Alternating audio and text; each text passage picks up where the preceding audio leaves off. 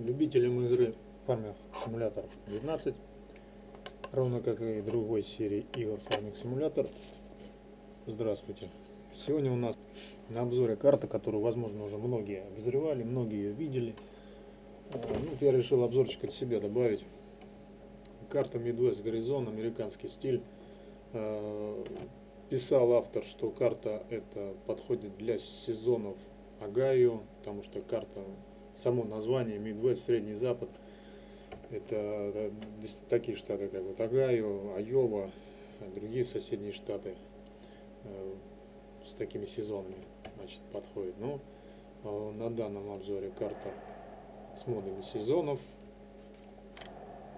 Немножко я тут уже себя под себя ее настраивал, эту карту, кое-какую подборку модов сделал, мод сезоны поставил. А, правда, сезон у меня здесь не Огайо и не Среднего Запада. Я сделал сюда сезоны Оклахому, потому что банально хочется хлопком заниматься на этой карте, потому что поля, поля большие, и собрать хлопок с таких больших полей будет довольно прибыльным делом, ну, впоследствии, если на ней играть. Единственная заморочка здесь с модом сезоном на этой карте. Я пробовал разные сезоны, и стандартный ставил, и другие выбирал. Почему-то он пшеницу с травой начинает объединять в один сезон. Вот видите здесь и трава, и пшеница, один значок на, как это сказать, на одну ячейку. И я-то знаю, как она растет, что трава растет. Сажать ее можно весь сезон на оклахомовских сезонах, собирать ее можно – со средней весны до ранней зимы. Пшеницу здесь как сажать и собирать? Непонятно. Ну, понятно, что она сажается с ранней весны до, ну, примерно до середины весны, может быть, даже до поздней весны, смотря какая температура, смотря какое, скажем так, тут опять же вот и пшеница, и трава, устойчивость к заморозкам, устойчивость к засухе не ориентирует нас как ее сажать, где. Ну, в принципе, можно, конечно, тут вот, например, в среднем состоянии устойчивость к заморозкам нету. Это, возможно, будет э, как ячмень, да, то есть пшеницу можно с ячменем сравнить. Я думаю так, что пшеница, что ячмень, что овес – культуры зерновые, в принципе, по ним можно как бы сориентироваться. Вот, что это единственная вот заморочка э, с этими сезонами на этой карте возникла. Еще раз скажу, что любой сезон я сюда ставил, и вот трава и пшеница смешиваются в одну ячейку, и небольшие трудности возникают. Ну, в принципе, не критично, но тем не менее. Вот. Э, карта мне сразу понравилась, как только я ее увидел. Она вышла довольно-таки давно. Это еще было, наверное, э, под конец 2018 года. Это была одна из первых карт э, больших американских, которая выходила к этой модовых карт, которая выходила к этой игре. Может быть, я ошибаюсь, может быть, это был где-то весна 2019 года, но я помню, увидел обзор одного из наших иностранных коллег по обзорам карт. И мне она сразу же понравилась, эта карта. Я несколько раз пытался на ней играть, но всякий раз происходили какие-то конфликты модов, происходила такая штука, что просто пропадали, исчезали точки продаж, и я не понимал, что с этим делать, и забрасывал эту карту. Вот опять к ней вернулся, потому что она действительно классная, она вот, ну, на ней прям э, летаем камерой, вот так, таким вот видом терраформинга. А здесь, сейчас вернусь, посмотрим вот так вот ее, да. Ну, я поставил сюда уже мод. Как он называется. В общем, назовем его мод, почвенный мод. Официальный, да. Карта большая, увеличенная. Вот во сколько раз она увеличенная, не знаю. То ли в 4 раза, то ли в 2. Вот. Но судя по полям, я бы даже сказал, что в 4. Раза увеличенная карта. Точки продажи здесь две зерновых. Это Купер Фарм и Горизонт Коп. Также есть здесь точка продажи хлопка, точка продажи яиц, точка продажи. Так, стоять. Точка продажи хлопка, точка продажи шерсти, яиц, молока. А, это у нас щепа древесная, силос, трава, понятно, сено, солома продаются только в тюках. И то, по-моему, там солому, по-моему, нельзя продать в тюках. Только траву и сено можно продать в тюках. Навоз с э, жидкий навоз, твердый навоз не продается в стандартном варианте. Э, я тут поставил мод, который превращает солому и сено в пилеты. Соответственно, продажи пилет тоже есть. Установил мод продажи Э, чистого картофеля, точнее чистого картофеля, премиального картофеля, какой-то еще мод на землю, на грунт, не знаю. Ну что-то, видимо, есть такое. Не обратил внимания. Вот. Так что здесь культур дополнительных нету. Э, здесь, кто работает, играет с модом, покос кукурузы, ну, в общем, как он мод называется, этот Майс Плюс, он здесь тоже глючит, я его решил убрать. То есть этот мод здесь э, не работает. Ну, на это, не, у меня почему-то он не стал работать, может быть, был какой-то конфликт модов, я сюда его не стал ставить. Я, этот мод мне нравится, я люблю с ним на картах работать, отдельно делать, например, силос из кукурузы, силос из травы, все это потом смешивать да, для кормления животных. Есть специальные карты, где этот мод можно активно использовать в качестве разных, э, ну, разных кормов для животных. Кто, например, занимается только животноводчеством, тот может, например, там заморочиться с кормом для животных разных видов. Вот. А так все по стандарту здесь. Культура обычные, покос травы, кукурузы, естественно, только на силос, он обычный. Вот, сейчас мы немножко по карте пройдем. Вот, точка продажи Cooper Farms, почему-то попадает ему сюда в центр. Сейчас мы немножко скорость увеличим. Побегаем. Вот первая точка продажи зерновых. Есть ангары. Так, есть они или... По идее вообще должно открываться. Двери, по-моему, должны открываться, насколько я помню. Так, нет, что-то не открывается. Не открывается, я думал, должны открываться. Ну, может быть, я что-то, э, может быть, с какой-то другой карты. Какой-то весовая есть рабочая. Такая вот точка продажи зерновых. Это первая точка продажи, находится она на юго-западе. И на юго-востоке находится вторая точка – горизонт ком. Горизонт ком. Даже вот анимация, звук, звук присутствует, видите, да, слышите точнее. Вот, и здесь, по-моему, даже что-то еще, ребята, покупается. Вот я не знаю, вот эта вот штука, и это как, сейчас э, посмотрим. Да, посмотрите. По-моему, тут даже триггер есть. У меня, к сожалению, нет животных тут. А, да, кстати, здесь на этой карте, даже на легком уровне, вообще ничего нету. Есть только набор стартовой техники. Комбайн John Deere, два трактора John Deere, семерка, восьмерка, культиватор, сеялка, джип э, и грузовик э, с хоппером. Ну, прицеп с разгрузкой через низ. Хоппер называется. Вот, значит, а, по-моему, тут покупается какой-то корм, что ли, я не знаю, для животных. То есть, ну, сейчас я это не пойму, что именно там покупается. Заправка существует здесь. Но это все находится в районе магазина, да, то есть corn, вот смотрите. Commodities, что это такое вот есть? Ну да, возможно, я был прав. Здесь покупается точка покупки корма для то ли коров, то ли свиней.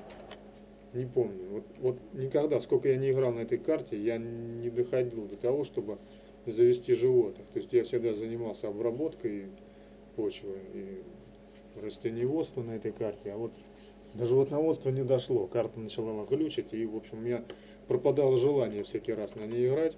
Но опять же, это с учетом модификации, которые я использовал. Сейчас я просто модификации сюда минимум подгрузил, потому что был какой-то конфликт, я ставил сюда бункера э, зерновые, которые заполняются, ну, допустим, э, как сказать, сейчас я вам покажу. Сейчас в модах, по-моему, у меня были эти бункера. Так. Эти у них были бункера-то? Ну, лучше использовать, конечно, стандартные такие мультихранилища. А у меня были бункеры, такие одиночные, под них подгонялись э, разгрузка конвейерным типом. Вот видите, такие даже вот я большие эти бункера поставил, Millional Farms.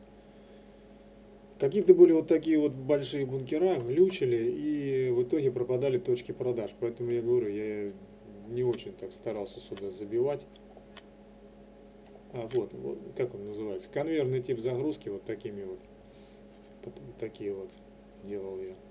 Ставил бункера и под них, чтобы как более реалистично, как вот в американском стиле они загружают, разгружают, загружают, вот, допустим, подъезжаешь хоппером, выгружаешь через низ, все это по конвейеру идет в бункер, и потом также загружаешь таки, такой же вот, такой же штукой. Ну, была еще одна штука, я не помню, как бранд, по-моему, называется, такая интересная, но я, к сожалению, не помню, в каком каком месте ее можно найти, вот я не помню, где она идет, в разных или где.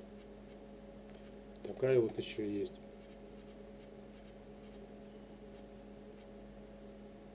Не вспомню. В общем, смысл в том, что занимался я тут только зерновыми, до животных у меня дело не доходило. Точка продажи, это мы уже сказали. Вот еще одна точка продажи, по-моему, здесь продают удобрения. Хотя байкорн ты покупаешь кар, кар, байкорн это кукурузу, да? Покупка корн кукуруза вроде бы. Здесь у нас хлопок продается.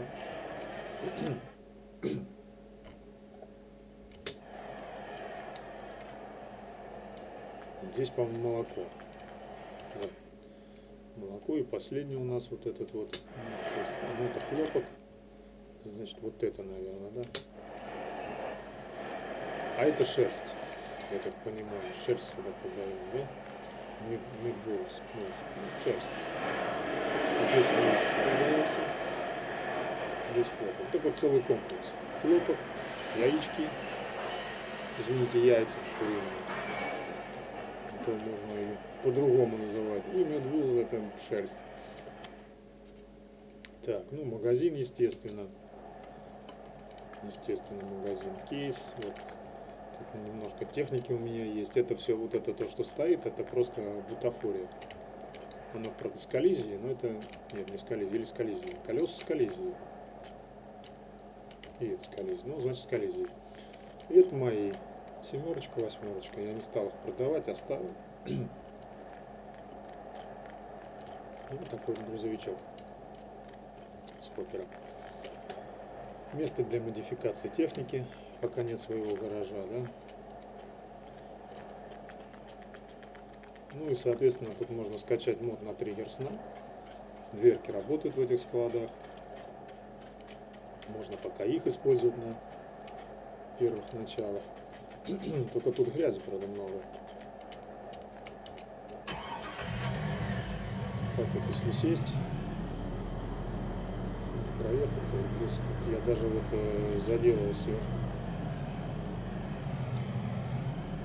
этим щебнем, текстуру щебня положил, да? Видите, грязище.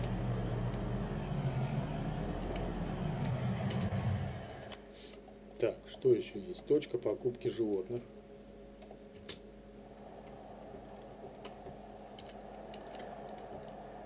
Так, нет, это продажа тюков. Здесь же продаются тюки. Здесь же покупаются свинки. А, ну тут, в принципе, все покупается и продается. Где-то что-то покупается, а где-то продается. Подвисло. Нажимаешь F5 и все подвисло, да?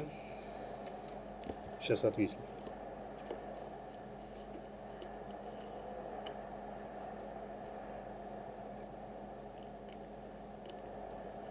может даже не отвиснет.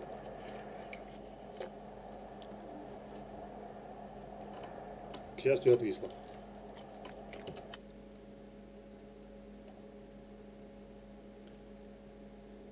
Да, тут продажа Cattle Feed, продажа сена, травы и покупка животных. Так, и еще у нас одна точка продажи есть. Видите, даже улица тут подписаны.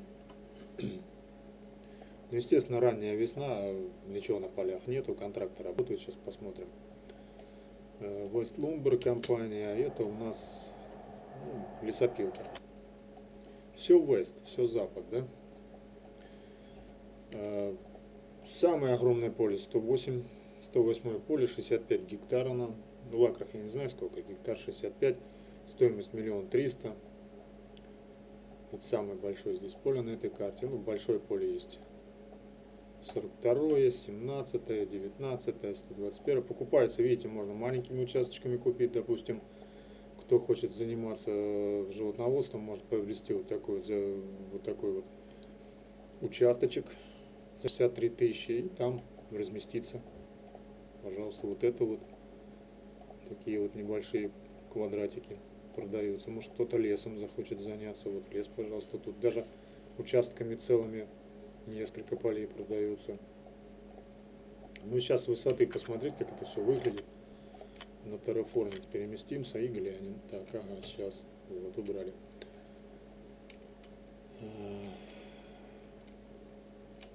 Дорог много, ну, в принципе, много, хватает. Например, выбрать какой-то участочек можно и, и так можно дорожку проложить. Но тут, тут, тут еще есть динамическая грязь на этой карте присутствует. И не всегда она почему-то э, в том месте, где она присутствует, допустим, да, даже вот смотрите, весной есть вода на полях, потом она, насколько я помню, должна высыхать. Вроде бы, я не знаю, но должна, по идее, высыхать, потому что автор писал, что здесь происходит э, на участках, полях залив. Вот даже на дорогу вода выходит, но это не мешает машинам ездить. Здесь даже какие-то есть, а вот, вот это штучки, типа дренаж, и вода потом уходит. Ну, не знаю, не, не могу сейчас сказать, боюсь обмануть. По-моему, вода уходит. Поначалу, когда я занимался на этой карте, я покупал вот этот большой участок, 14 вот это поле, оно большое, оно такое. Чем оно удобно? Тем, что тут уже есть ангар. Тут, тут часть травы. Допустим, можно тут поставить коровничек небольшой, заняться коровами. И поле у тебя будет большое уже собственности. Будет еще собственности вот этот вот лесной массив. Это не сосна, это обычный этот лес древесный. И он так густо растет, что, в общем, тут неплохо можно заработать на продаже просто обычные щипы. А если еще поставить мод на лесопилку, то можно еще какие-нибудь поддоны сделать из этих этой щипы, повозить туда щипу на производство поддонов, либо производство тех же пилет. И, в общем-то, подзаработать еще на этом, ну, кто любит заниматься такими модами. Вот. И, а потом сделать большое поле, то есть убрать этот лес, который тут по центру. Вот, и сделать такое большое поле. И вот здесь я тоже покупал вот эти вот еще два поля. Ну, вот это поле 38 и 30. Здесь тоже есть лес такой посередине. Я делал, значит, э, скашивал этот лес, убирал, ну, рубил, не скашивал, рубил. Так кусочек оставлял такой живописный, ставил тут домик, тут у меня база была, Жалко, что не, не, не эта сохраненка у меня пропала, как я не пытался ее восстановить. Ничего не получилось из ранних сохранений. В общем, решил на это дело забить. Лук большой вот здесь такой вот тоже можно купить отдельный. Очень много травы. В общем, э, что, по этой карте особо больше ничего не скажешь. Э, карта простая. Она рассчитана даже, видите, на игру мультиплеере. Есть сразу небольшие фермочки то, что сейчас они в 22-й ферме придумывают, что будут якобы на вот этой американской карте сразу подготовленные фермы для мультиплеера. Это мододелы уже придумали сразу же. И вот эта карта, еще раз я повторюсь, она вышла одной из первых таких вот, э, когда она появилась первый раз, я увидел, о, вау, думаю, сколько места тут на ней, вообще прям, ну, бомба была. А, да, она простенькая, она FPS не грузит ос а, особо, то есть тут, тут, тут минимум объектов, они все простые, грузить тут не с чего.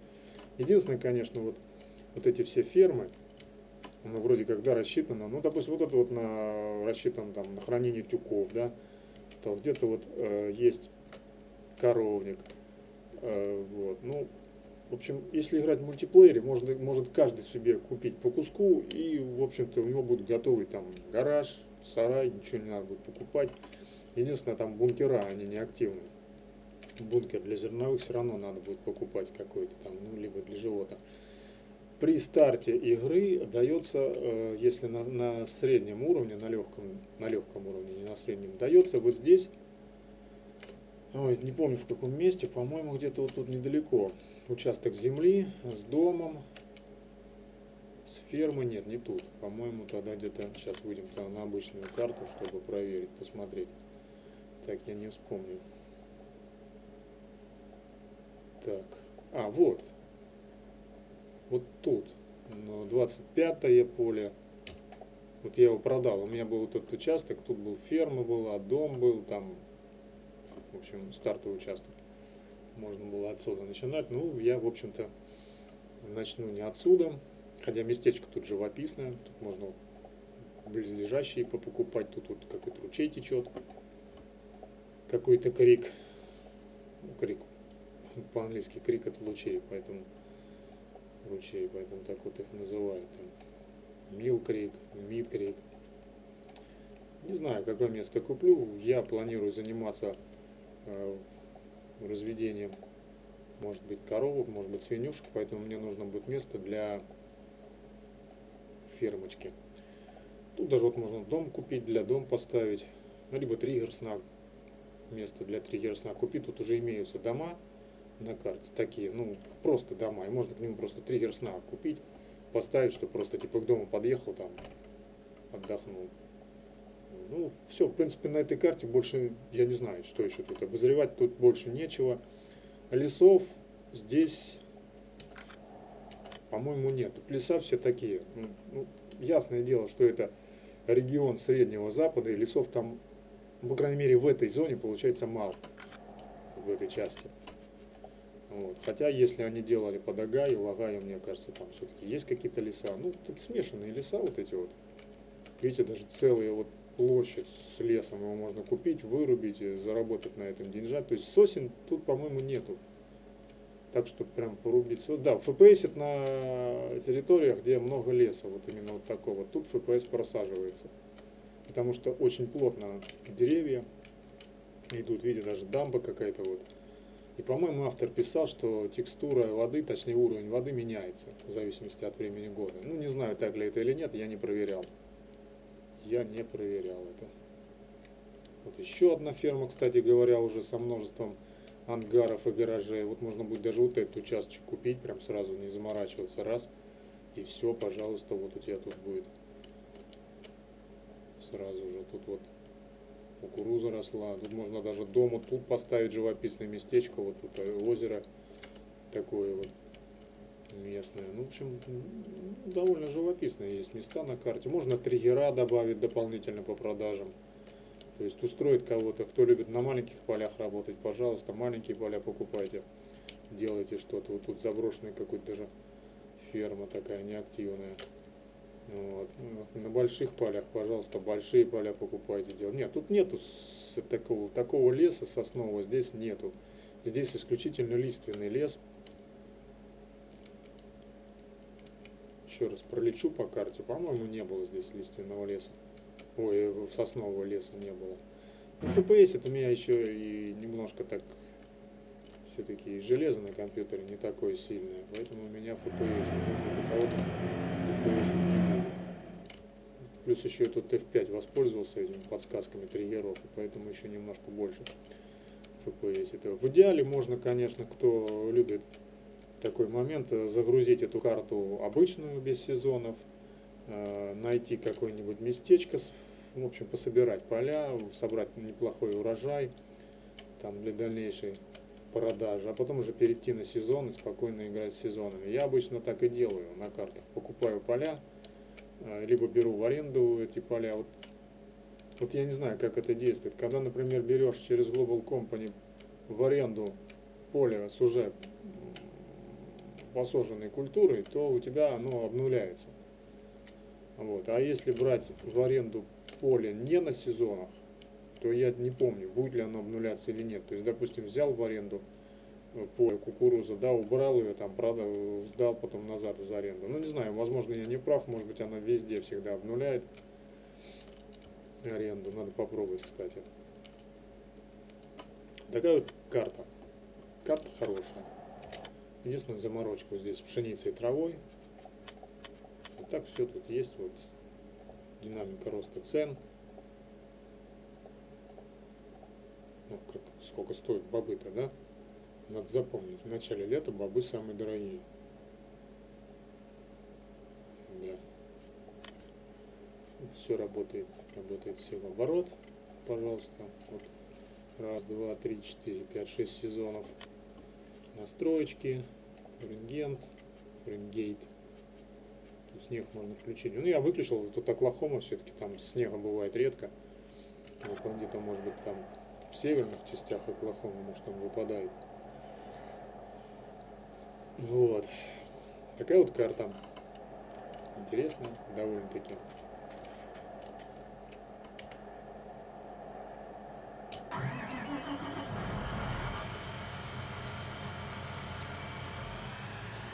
Так что, может быть, даже поиграю я на этой карте. Но у меня просто железо слабоватое, поэтому немножко, конечно, оно тормозит меня.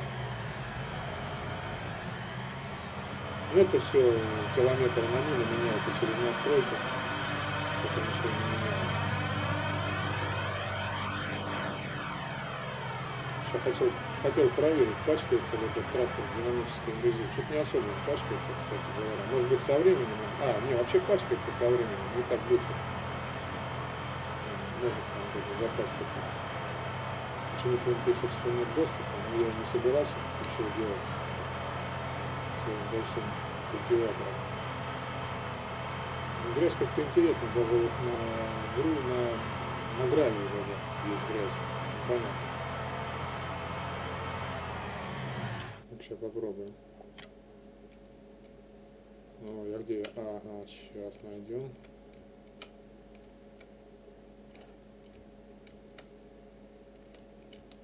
Где она тут?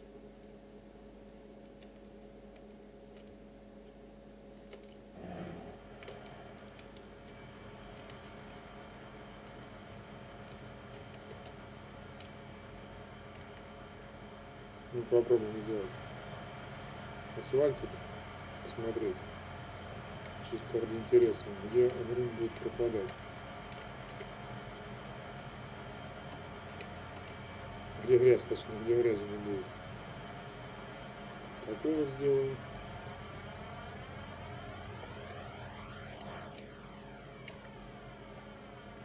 Вот плиточка. Вот понятный камень.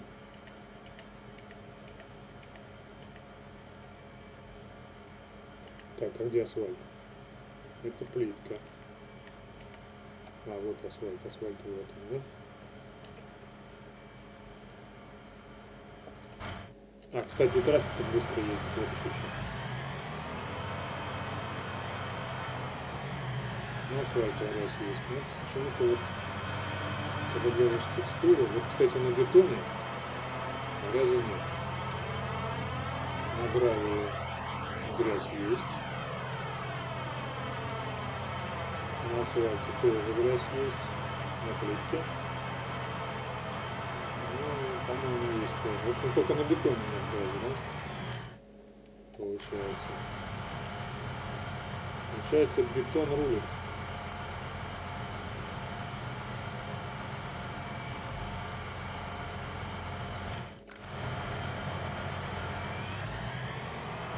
Сейчас проверим еще разок. Или есть? Не, тоже есть. И вот, вот для меня, э, я не знаю, может быть потом Вроде дождя нет, может быть, сухую погоду будет не так, нет? Вот это мне тоже непонятно оказалось. Значит, так настроен вот это динамический рынок. Я не знаю, ну, к сожалению, можно ли его отключить или нет, потому что я видел XML файл содержался в каталоге этого мода. Может быть, просто если убрать XML файлы, не будет грязи, я не знаю, я не пробую, надо попробовать. В общем, все, вот такой обзор. Карта Midwest Горизон 2018 конца года 2019 не знаю когда этот мод вышел но сейчас по прошествии сколько там уже ну три года практически прошло да а карта вполне такая для меня например она не потеряла актуальности и на ней я готов поиграть немножко там какую-то небольшую фермочку сделать. Вот кто хочет пользуйтесь